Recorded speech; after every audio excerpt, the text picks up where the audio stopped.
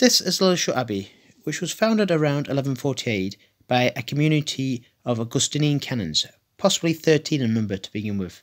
The abbey was quite prosperous in the 13th century. It even entertained Henry III twice, but this prosperity wasn't to last. In the early part of the 14th century, the abbey was heavily in debt, and at the time of the dissolution, it did not immediately get dissolved, but surrendered itself to the king later. The abbey was compulsorily suppressed on the 16th of October 1538 when Henry VIII's agent William Cavendish took possession. The site was sold to James Leveson, whose family lived in a house on the site to the mid 17th century. The old abbey buildings were badly damaged in 1645 during the Civil War. This was when it was besieged by parliamentarian troops, and more damage was created later by subsidence due to mining.